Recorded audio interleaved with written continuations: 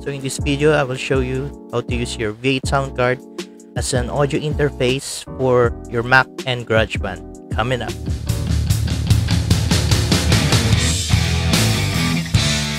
So ito na yung V8 natin. And tingnan muna natin yung mga inputs niya.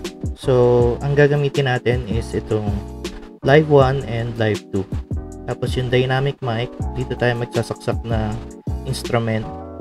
Tapos I suggest yung earphone speaker yung gamitin natin for monitors para hindi lumalabas yung background noise kasi dito sa headset lumalabas yun.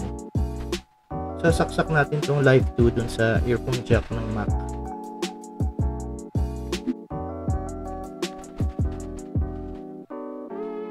Itong sa Live 1, ito yung para papunta sa phone mo. Just in case gusto mong i-record uh, yung video, madali ka makakapag-edit. So, yung gitara, diretso naman dito sa dynamic mic. So, ito sa phone, ito sa computer or sa Mac, tapos ito sa guitar or any instrument. So, ngayon open na natin yung GarageBand. So, pag open ng GarageBand, uh, choose natin yung empty project. So, unahin natin is yung drummer.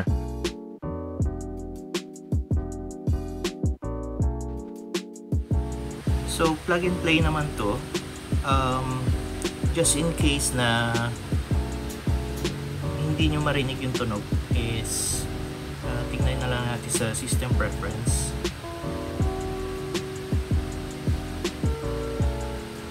Ayan. Tapos sa uh, sound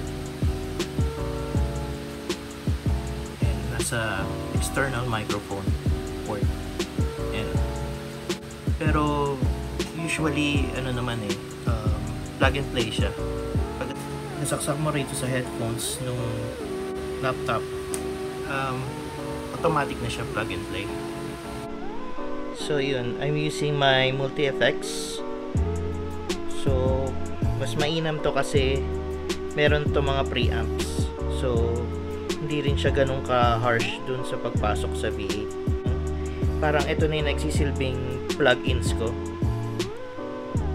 So, kung meron kayong multi-effects or um, pedal board, I suggest yun yung gamitin natin. Mic yung ginamit ko na track kasi ano yun, transparent. So, pinlat ko lang lahat ng EQ.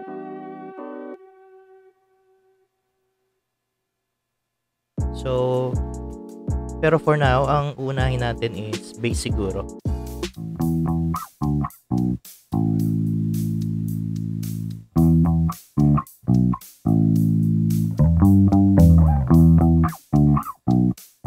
So, okay na yung bass natin. Uh, magdadagdag ngayon tayo ng guitar.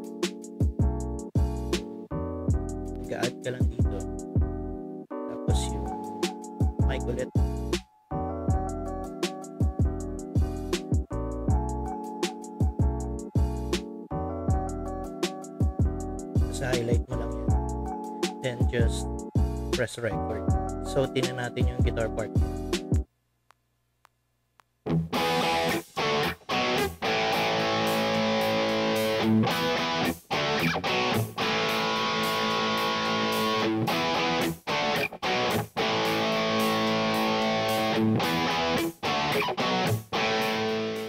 So, natapos na natin i-record yung drums, yung bass part, and yung guitar part.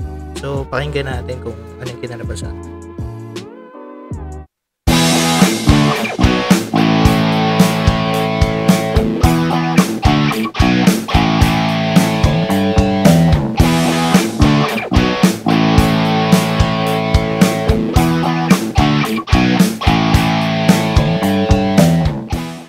So, there you have it guys. Yun yung ginawa kong paraan kung paano ma-record yung V8 through your Mac using GarageBand.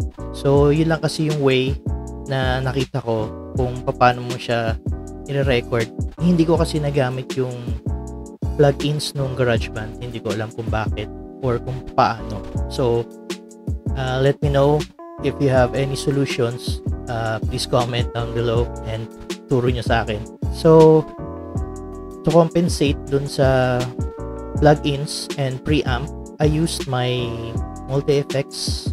So, meron na siyang sariling um, preamp and gumamit na lang ako ng transparent na track dito sa GarageBand. Medyo nagpantay na yung tunog niya tsaka hindi na siya tunog flat.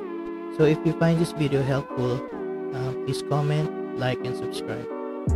And thank you for watching again. Keep safe always. God bless. Thank you very much.